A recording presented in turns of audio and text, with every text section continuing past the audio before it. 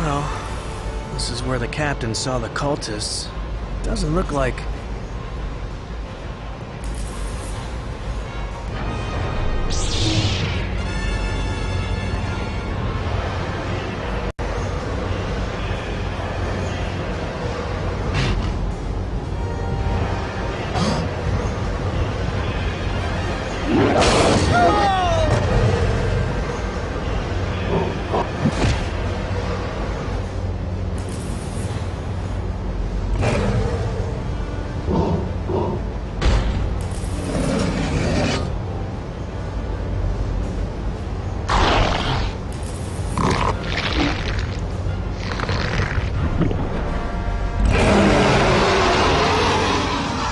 The Jedi are here.